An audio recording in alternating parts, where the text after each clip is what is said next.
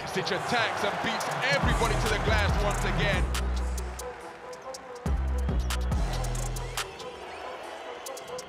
Micic hangs it up for Tibor Pleiss, who growls Van Poirier.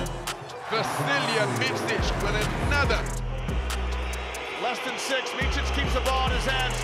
Clock is running out, Micic rises, if it goes, it!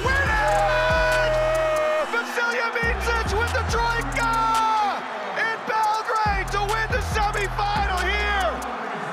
What a dramatic finish!